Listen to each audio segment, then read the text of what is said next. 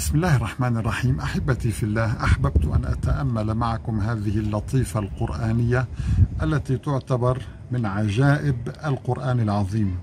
كما أن الله نظم كل شيء في هذا الكون وأحكمه. نجد كل شيء منظم بقانون. كذلك في القرآن الكريم نجد آه، يعني أرقام تزين القرآن. نجد كتاب محكم بكل معنى الكلمة. اليوم دعوني أتأمل معكم قصة النمل في القرآن الكريم. القصة التي وردت فيها النمل فيها كلمة النمل وهي قصة سيدنا سليمان. دعونا نقرأ. إذا سأرقم الآيات من أول قصة النمل حتى إذا أتوا على وادي النمل. قالت نملة. إذا من بداية الآية التي يذكر فيها اسم النمل.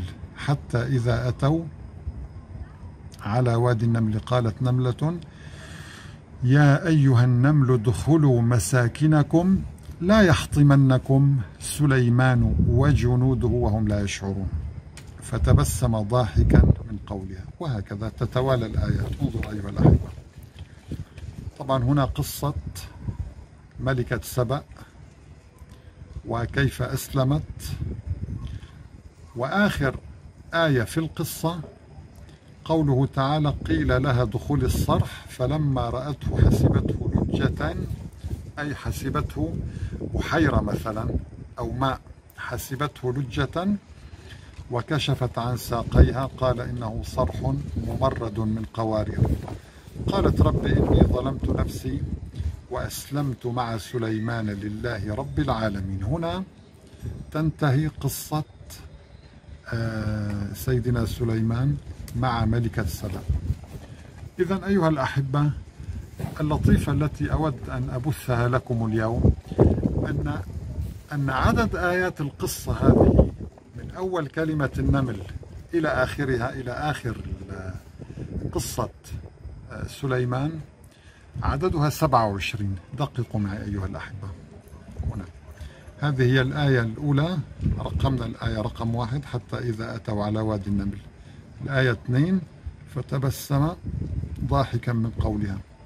الآية ثلاثة وتفقد الطير. الآية أربعة لأعذبنه. خمسة فمكث غير بعيد وهكذا. انظروا آخر آية هنا كم رقمها؟ سبعة وعشرين. يعني عدد كلمات القصة هذه من بداية النمل إلى نهاية القصة عددها 27 ما هو الرقم 27 إنه عدد إنه رقم ترتيب سورة النمل في القرآن. يعني ترتيب سورة النمل في القرآن 27 وسبحان الله عدد الآيات التي تتحدث عن قصة النمل من بداية النمل إلى آخر قصة سليمان عددها أيضا 27 لا نملك إلا أن نقول سبحان الله.